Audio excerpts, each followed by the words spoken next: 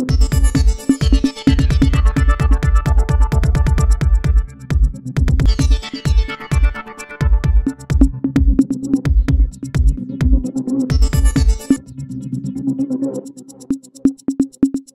Administrator बल्दिया कोरंगी शरीफ खान की जानब से डिस्ट्रिक्ट कोरंगी की आवाम को सेहतमंदाना माहौल की फरहमी के लिए बल्दिया कोरंगी स्पोर्ट्स डिपार्टमेंट के जीरे एहतमाम। D M C Korangi school tournament का इनका किया गया। इस टूर्नामेंट में सोलह टीमें हिस्सा ले रही हैं। टूर्नामेंट का फाइनल मैच इकतीस दिसंबर को district cricket academy Korangi number पाँच में होगा। फाइनल मैच के मेहमान खसूसी गवर्नर सिंह मोहतरम जनाब कामरान टसूरी होंगे। एडमिनिस्ट्रेटर बल्दिया कोरंगी शरीफ खान ने म्यूनसिपल कमिश्नर फहीम मुस्तफ़ा सोमरो, अरकीन सुबह असम्बली एम के पाकिस्तान जावेद हनीफ और गुलाम जिलानी की हमरा अजीम शान टूर्नामेंट का अफ्ताह किया। इस मौके पर एडमिनिस्ट्रेटर कोरंगी शरीफ खान ने कहा कि एम के पाकिस्तान लांडी करंगी के बच्चों और नौजवानों को सेहतमंदाना सरगर्मियाँ जारी रखने में हर मुमकिन मदद करती रहेगी, ताकि यहाँ के बच्चे और नौजवान इस किस्म की सरगर्मियों का फ़ायदा उठाएँ और न सिर्फ़ लांडी करंगी बल्कि कराची और इस मुल्क का नाम रोशन करें। बाद रुकन सबाई असम्बली, जावेद हनीफ ने कहा की ये एक सेहतमंदाना प्रोग्राम है, जिसका निकाल करके एडमिनिस्ट्रेटर करंगी शरीफ खान ने काबिल सताइश काम किया है। बच्चों और नौजवानों को चाहिए की इस टूर्नामेंट ऐसी भरपूर फ़ायदा उठाए।